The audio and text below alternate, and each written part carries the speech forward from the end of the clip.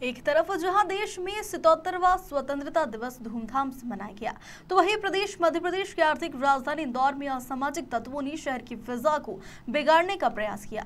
यहाँ हर घर तिरंगा अभियान के तहत भारतीय जनता युवा मोर्चा के कार्यकर्ताओं के द्वारा छत्रीपुरा थाना क्षेत्र से तिरंगा यात्रा आयोजित की गई है। यात्रा के दौरान असामाजिक तत्वों ने पथराव कर दिया और कोई कुछ समझ पाता इससे पहले ही तिरंगा यात्रा में शामिल डीजे वैन पर पेट्रोल बम फेंक दिया।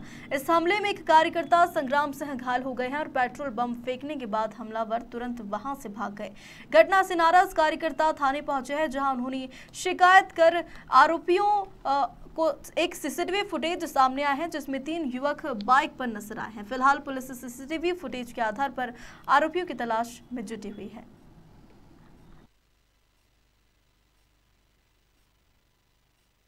कहाँ के, कहाँ हुआ है? क्या पूरा घटना है? खड़ी कर लो खड़ी। प्रधानमंत्री नरेंद्र मोदी जी के आह्वान पर हर घर तिरंगा और विधानसभा वार माननीय वैभव पवार जी के नेतृत्व में आज जुम्मो बाइक रैली निकाल रहा था। ये बाइक रैली लाल बाग से होते हुए मुकेरीपुरा और नरसिंह बाज़ार होते हुए अ, जाने। जिसमें मुकेरीपुरा पर कुछ असामाजिक तत्वों द्वारा पथराव हुआ। पथराव को हम समझ नहीं पाए हमें कुछ कार्यकर्ताओं ने बोला कि पथराव हो रहा है तो हमने यात्रा क्योंकि काफ़ी लंबी थी तो यात्रा हमने आगे निकाली। अब उन्हें हमने उस यात्रा पथराव को बहुत हल्के में लेते हुए हम आगे निकल गए। हम आगे निकलते हुए किला माता मंदिर के सामने वैष्णव बाल विनय मंदिर स्कूल है। वहाँ पर कुछ असामाजिक तत्व तीन लोग थे जो बाइक से बोलो आईडी चमक रही वहाँ से निकले। हम उस घटना को भी नहीं समझ पाए थे लेकिन राह से निकल रहे कुछ लोगों ने हमें बताया कि भैया किसी ने वहाँ पर पेट्रोल पंप देखा। देखते ही देखते जो डीजे की गाड़ी थी उसमें भोंगा लगा हुआ था साउंड के अंदर आग भग भग कर कर टूट गई आग लगते ही हमने वहाँ पे हमारे कार्यकर्ताओं ने पानी से आग बुझाई और आइट साइड हमने कैमरों में देखा तो वहाँ पर कैमरे भी लगे हुए हैं जिसकी पूरी जानकारी हमने थाना प्रभारी महोदय को दे दी गई है और आगे वो जाँच के कितने लोग घायल हुए हैं? उसमें हमारा एक युवा मोर्चा का कार्यकर्ता घायल हुआ है जिसको आँख के पास में पेट्रोल पंप का कांच लगा। पथराव कहाँ से हुआ? चलते रोड पे हुआ? चलते रोड से हुआ था। अच्छा। कहाँ की घटना पथराव हमारा मुकेरीपुरा मस्जिद के वहाँ पे हुआ था और बाल विनय मंदिर स्कूल के वहाँ पे पेट्रोल पंप फेंका गया। अच्छा, अभी आपके साथी कोई दरगाह चौराहे का ज़िक्र भी कर रहे थे? हाँ वो मुकेरीपुरा दरगाह दरगाह अच्छा अच्छा दरगाह हाँ, चौराहे के यहाँ की अच्छा कौन लोग हो सकते हैं? ये असामाजिक तत्व है जिनको भारत से प्यार नहीं है जो पाकिस्तान को शायद अपना बाप समझते हैं जिन लोगों को ये तिरंगा यात्रा भा नहीं रही थी आगे की जानकारी आपको थाना प्रभारी महोदय जाँच करके विषय में निकलेगा नाम मेरा नाम यादव। सीसीटीवी में कुछ दिखा आपने सीसीटीवी यहाँ पर दिए हैं फुटेज की अभी जानकारी कुछ लोग दिखे उसके अंदर?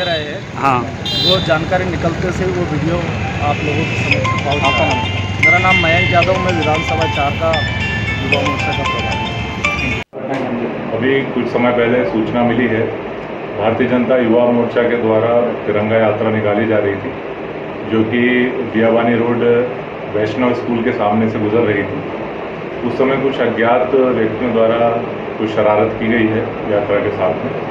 अभी सीसीटीवी फुटेज निकलवाए जा रहे हैं और जो तथ्य सामने आ रहे हैं, उनकी तस्दीक की जा रही है। और तस्दीक के बाद वैधानिक कार्रवाई इसमें की जाएगी। तो इसको स्पष्टीकरण क्या है? वो कोई पथराव हुआ आगजनी हुई?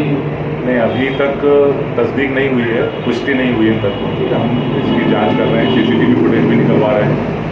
और जो जानकारी सामने आएगी जो तथ्य सामने आएँगे उसके अनुसार वैधानिक कार्रवाई की जाएगी। तो रिपोर्ट आया था मुकेरीपुरा या दरगाह चौराहा ये दो दो जगह बताई जा रही है। हाँ अभी सूचना में दो स्पॉट आए हैं तो दोनों की जानकारी निकाल ली जा रही है। और जानकारी में जो सीसीटीवी फुटेज में जो तथ्य सामने आएँगे उसके मुताबिक कार्रवाई होगी। सर यात्रा वालों ने कुछ सीसीटीवी भी आपको दिए हैं उनका कुछ वीडियो भी वीडियो भी दिए हैं। आपको जिसके अंदर लोग दिख रहे हैं? नहीं ऐसे कोई वीडियो प्राप्त नहीं हुए हैं। घटना का कोई वीडियो नहीं है घटना के समय का वीडियो नहीं है। इसीलिए हम घटना स्थल के आसपास के सीसीटीवी फुटेज निकाल रहे हैं। इसमें कोई घायल वगैरह हुआ है एक संग्राम सिंह करके एक व्यक्ति है जो अपनी माथे पर हल्की चोट होना बताता है। तो इसकी भी तस्दीक की जाएगी सर प्राइमा कोई अपराध पंजीबद्ध किया है इसके अननोन अभी कुछ ही समय पहले सूचना प्राप्त हुई है अभी कोई अपराध पंजीबद्ध नहीं हुआ। ओके ठीक है सर हो